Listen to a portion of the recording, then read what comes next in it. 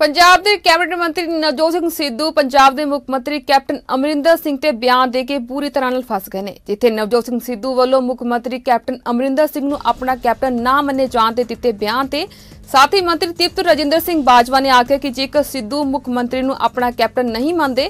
ਤਾਂ ਉਹਨਾਂ ਨੂੰ ਕੈਬਨਿਟ ਮੰਤਰੀ ਦੇ ਅਹੁਦੇ ਤੋਂ ਅਸਤੀਫਾ ਤੇ ਦੇਣਾ ਚਾਹੀਦਾ ਹੈ। ਬਾਜਵਾ ਨੇ ਆਖਿਆ ਹੈ ਕਿ ਰਾਹੁਲ ਗਾਂਧੀ ਇਕੱਲੇ ਸਿੱਧੂ ਦੇ ਹੀ ਨਹੀਂ, ਸਗੋਂ ਉਹਨਾਂ ਦੇ ਅਤੇ ਕੈਪਟਨ ਅਮਰਿੰਦਰ ਸਿੰਘ ਦੇ ਵੀ ਕੈਪਟਨ ਨੇ। ਪਰ ਪੰਜਾਬ ਵਿੱਚ ਮੁੱਖ ਮੰਤਰੀ ਹੀ ਉਹਨਾਂ ਦੇ ਕੈਪਟਨ ਨੇ। ਉਹਨਾਂ ਆਖਿਆ ਕਿ ਜਿਸ ਤਰ੍ਹਾਂ ਸਿੱਧੂ ਵੱਲੋਂ ਬਿਆਨ ਦਿੱਤਾ ਗਿਆ ਜੇਕਰ ਉਹ ਪੰਜਾਬ ਵਿੱਚ ਅਮਰਿੰਦਰ ਸਿੰਘ ਨੂੰ ਆਪਣਾ ਕੈਪਟਨ ਨਹੀਂ ਮੰਨਦੇ, ਤਾਂ ਉਹਨਾਂ ਨੂੰ ਨੈਤਿਕਤਾ ਦੇ ਆਧਾਰ ਤੇ ਪੰਜਾਬ ਦੀ ਕੈਬਨਿਟ ਵਿੱਚੋਂ ਅਸਤੀਫਾ ਦੇ ਦੇਣਾ ਚਾਹੀਦਾ ਹੈ ਅਤੇ ਉੱਥੇ ਚਲੇ ਜਾਣਾ ਚਾਹੀਦਾ ਜਿੱਥੇ ਰਾਹੁਲ ਗਾਂਧੀ ਉਹਨਾਂ ਦੀ ਡਿਊਟੀ ਲਗਾਉਂਦੇ ਨੇ।